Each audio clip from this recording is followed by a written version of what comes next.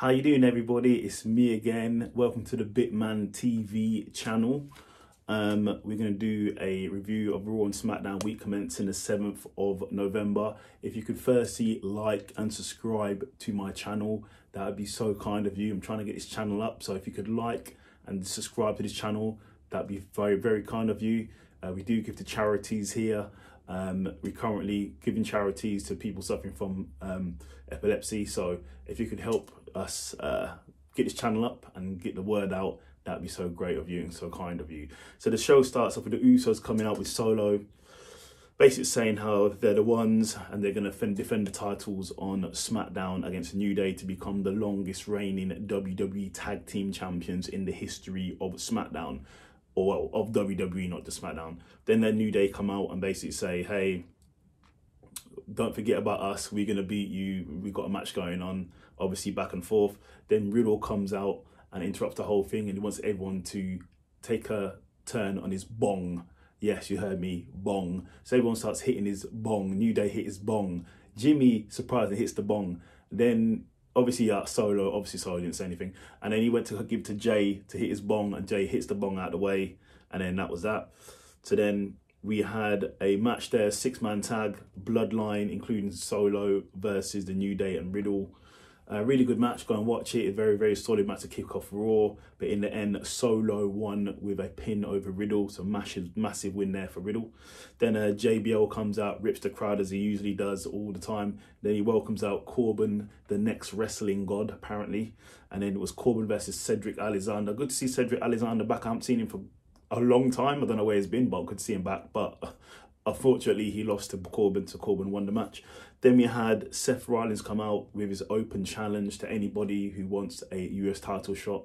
Judgment Day come out. Obviously, Seth Rollins is outnumbered, and then Finn Balor says him and Seth have unfinished business because Seth cost Finn Balor the Universal Championship. As that was about to kick off, the OC come out and basically say they have got unfinished business as well, and then it leads into a massive brawl, and um, the OC say also they've got someone joining, someone to handle Rhea Ripley, and it's Mia Zim. Uh, I believe I said pronounce her name right, and she basically flattened the uh, Judgment Day. So we'll see what happens there. Then we had Otis versus Elias, really good match, but Otis won by the world's strongest slam. You should thank Mark Henry for that. Um, then we had a Judgment Day basically backstage saying how they're mad of what the OC have done, and it's just the beginning of what's going on. Then the next segment we have Bianca come out, um, Asuka and Alexa all calling out uh, Damage Control, and then obviously Damage Control come out with Bayley and it turns to a massive brawl, obviously. Then we had Theory versus Shelton Benjamin. It's good to see Shelton Benjamin back on TV.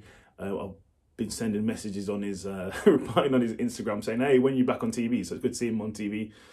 They had a little skirmish backstage the other uh, earlier in the night and it resulted in a match, but uh, unfortunately Theory won. So that's that. Hopefully we see Shelton again. Then we had the Miz coming out basically saying the situation with uh, Dexter and Johnny will be sorted, and Johnny basically comes out and saying he's got footage of Miz, Miz basically admitting to paying off Dexter uh, to create some buzz around his name to, to attempt to be his stalker, and they showed the footage because Miz was meeting with an actress who posed to be a lawyer.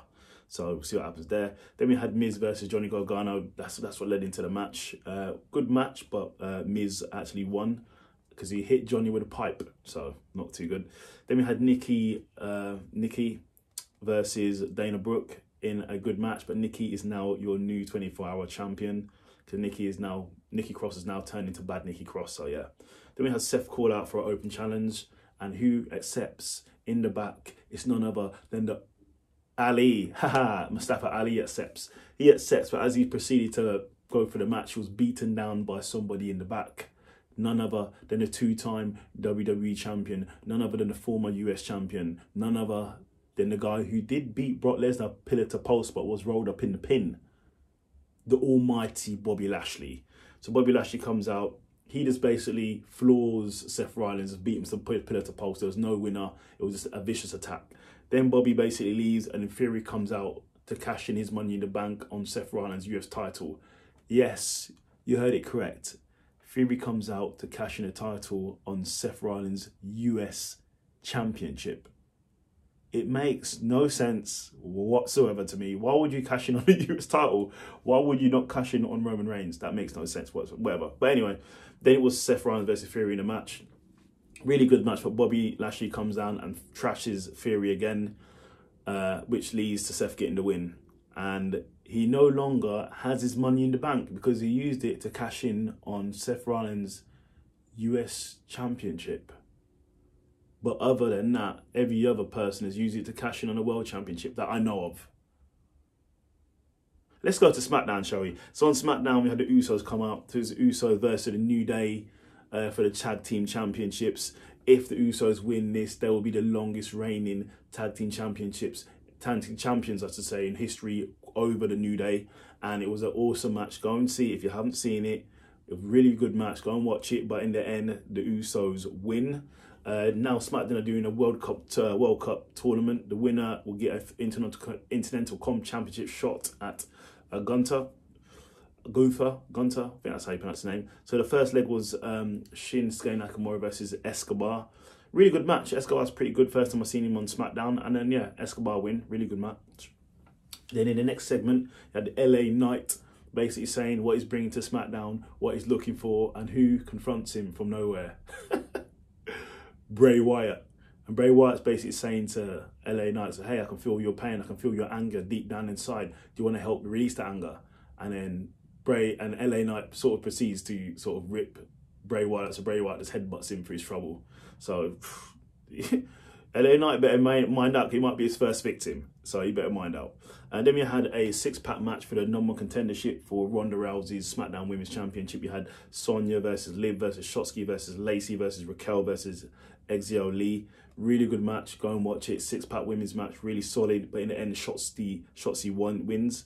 And then Shotzi backstage is confronted by um, Shayna Baszler. Uh, who then is confronted by Ronda Rousey. But as Shane, as Shotzi went to go look at uh, Shayna, I mean Ronda Rousey, she was choked out. So yeah, so it's a pretty good segment to be honest. And then we had Ricochet said he's ready to face Gunther uh, for the IC Championship, which will come up. Then we had another World Cup qualifier where it was Braun Strowman versus Jinder Mahal. Obviously, Jinder, obviously Braun won, so uh, Braun now um, proceeds in the tournament. Then we had Hit Row come out, basically doing the Hit Row stuff, and they was actually flattened by the new Viking Raiders with a lady. I didn't catch her name, but she has a name. And then um, basically in the main segment, in the main event, the Bloodline come out with Roman Reigns because backstage with Roman Reigns, he actually did say to the Usos, "Congratulations, but we got some stuff to handle in the back in the in in the arena. So we're gonna do it tonight." So Roman Reigns basically come out. Roman Reigns is now 803 days as your champion. So congratulations to Roman Reigns. Roman Reigns basically proceeds to say, yep, they're the Bloodline. They're doing their thing," and Roman Reigns says He's about to do something he didn't think he was going to do. As he was about to do it, the Brawling Brutes come out and they run to the ring. It turns into a brawl. Sheamus comes out as well. And then out of the blue, while the brawl's happening, Drew McIntyre comes out to back him up also. Wow. So Drew McIntyre's now working alongside the Brawling Brutes and Sheamus, which is crazy, to go against the Bloodline. And that's how uh, the show ended by everybody fighting. So it was a great, great, uh, great uh, segment. So yeah, if you haven't seen it, go and watch it. But like, subscribe, and leave a comment on my channel if you could be so kind. Take care.